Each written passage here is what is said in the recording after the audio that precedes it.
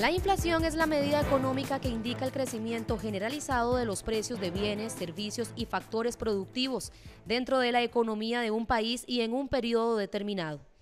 Chile y Colombia son los países con la inflación más baja en Latinoamérica, con 1,6 el primero y 2% el segundo país. Por su parte, Perú y México tienen una inflación de 2,87 y 3,25% respectivamente. Veamos ahora la lista de los países latinoamericanos con mayor inflación. Dentro de esta lista, Ecuador se coloca en la décima posición, con un porcentaje de 4,10 de inflación.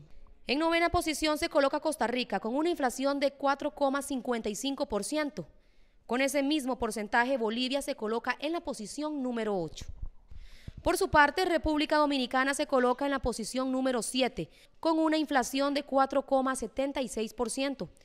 Honduras ocupa el sexto lugar. En ese país el porcentaje de inflación es de 5,67. Brasil es el quinto país con mayor inflación, con un 6,20%.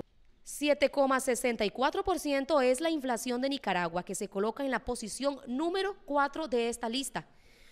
Uruguay ocupa el tercer lugar con un porcentaje de inflación de 8,72.